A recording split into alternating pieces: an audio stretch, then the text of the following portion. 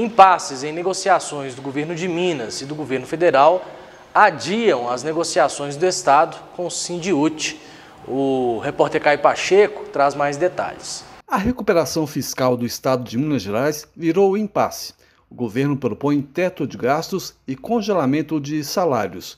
O Sindicato Único dos Trabalhadores na Educação é contra. A perspectiva nossa é que os deputados digam não ao regime de recuperação fiscal, até mesmo que tem uma negociação aí do Pacheco com o governo federal. Então, o regime de recuperação fiscal tem saída que não seja atacar o funcionalismo público. Os deputados estaduais não votaram no plenário a proposta do governador e o prazo está no fim.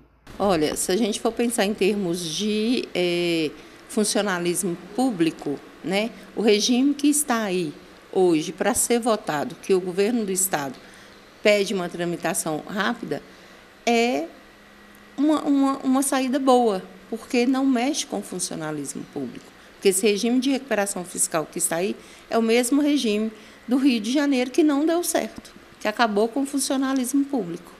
E aí as estatais vai passar a ser estatais federais, com prazo determinado para pagamento da dívida. Em nota, o deputado estadual Douglas Melo se manifestou. Abre aspas. Espero que o governo do estado encontre uma solução junto ao governo federal, com a mediação do presidente da Assembleia, deputado Tadeu Leite. Fecha aspas. O presidente da Assembleia Legislativa de Minas, deputado estadual Luiz Tadeu Leite, e o presidente do Congresso Nacional, senador Rodrigo Pacheco, estão negociando um acordo entre o governo de Minas e o governo federal Hoje, hoje Minas deve 140 bilhões de reais à União.